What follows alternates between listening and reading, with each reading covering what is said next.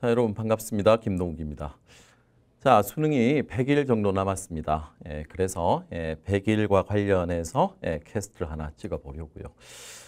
자, 이때까지 찍었던 캐스트 중에서 가장 예, 고민이 많았던 캐스트입니다. 예, 도대체 예, 여러분한테 100일 남은 여러분한테 어떤 얘기를 해야 할까? 어, 여러분들 100일 남았다고 하면 왠지 긴장되고 예, 막 열심히 해야 될 것 같고 예, 이제와는 다른 새로운 모습을 보여주고 싶은 그런 의욕에 가득 차 있을지 모릅니다. 어, 쌤도 고3 때 어, 100일 날의 풍경을 떠올려 보면 예, 재밌는 음, 장면들이 떠오르는데요. 음. 쌤이 그때 한 반에 60명 정도 됐어요. 한 반에. 네, 근데 쌤 친구들이 100일이 남았다고 해서 단체로 이발소에 가서 삭발을 하고 왔어요. 한 20명 정도. 네, 그래서 담임쌤한테 인사를 하는데 다 삭, 그, 합장 인사를 하는 거예요. 예. 그죠? 그 친구들의 마음 충분히 이해되고 음, 한데 선생님이 오늘 얘기하고자 하는 것은 자 삭발을 하자 이게 아니고요. 음, 아, 이, 이런 겁니다.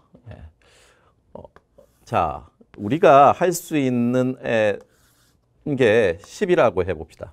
10이라고 해보자고요. 그럼 여러분들은 100일이 남았을 때 보통 이런 생각을 하게 됩니다. 어떻게? 자, 이때까지 내가 열심히 안 한 것 같으니까 나머지 100일 동안 정말로 열심히 해서 내 능력 이상의 뭔가를 보여줄래. 응? 머리도 깎았잖아.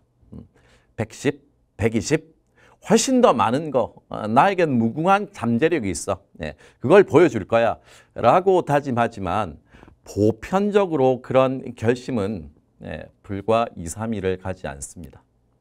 네.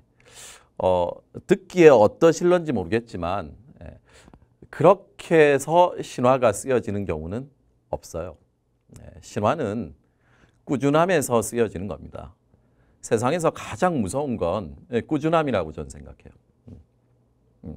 한순간에 욱해서 예, 만들어지는 결과물은 예, 결코 그렇게 끝이 아름답지 않을 수 있습니다. 여러분 어, 너무 두려워하지 마시고 욱하는 그 마음이 근본적으로 따지면 두려움이거든요. 음.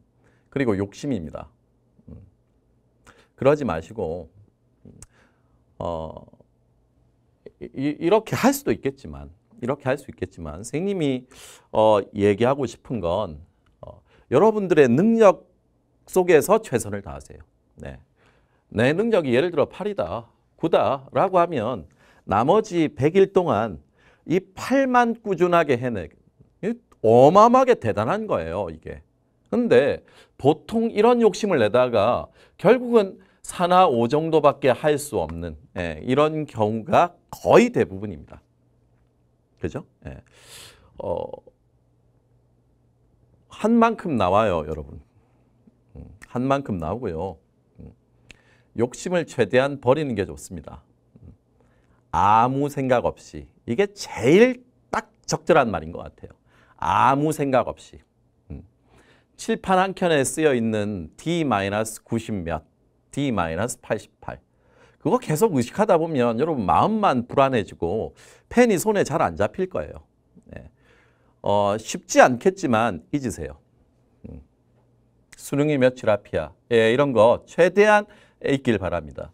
예, 그리고 여러분 눈앞에 있는 것에 충실해 주세요. 음. 100일 그냥 쌤 생각에는 그냥 예, 수능 전 하루일 뿐입니다. 음. 오히려 여러분들이 신화를 쓰고 싶다면 신화를 쓰고 싶다면 1초를 참으세요.